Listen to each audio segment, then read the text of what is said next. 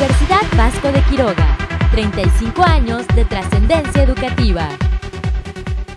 Autoridades municipales alertan por inundaciones a habitantes de 53 colonias de Morelia ubicadas en zonas de alto riesgo. Eh, tenemos nosotros consideradas 53 colonias como susceptibles a inundación, Pestre Manantiales, Ejidal Tres Puentes, la colonia Tres, pues, Tres Puentes, Carlos Salazar, Primo Tapia, Jaime Nunó, eh, Miguel Hidalgo, Pedro María Naya, parte de Prados Verdes, Granjas del Maestro, la colonia El Mariel, este, y las zonas bajas allá de la parte de la aldea. Joaquín Toledo Álvarez, integrante del área de distritos hidrométricos del organismo operador de agua potable, alcantarillado y saneamiento, hizo un llamado a la población para no incrementar los riesgos de inundación al tirar basura en ríos y drenes. Los drenes no son basureros. Hemos visto que sí ha disminuido bastante este eh, en cuestiones de que antes el, lo que era Den Barajas y Carlos Salazar sacábamos nosotros mínimo por cada una de las lluvias que llegaba uno o dos camiones de 7 metros lleno de basura. El también coordinador del Comité Interinstitucional de Contingencias dijo que se mantiene un monitoreo constante en los 12 cárcamos de bombeo que está a lo largo del Río Grande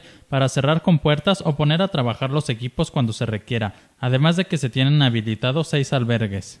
Con información de Felipe Bárcenas informa Cuasar TV.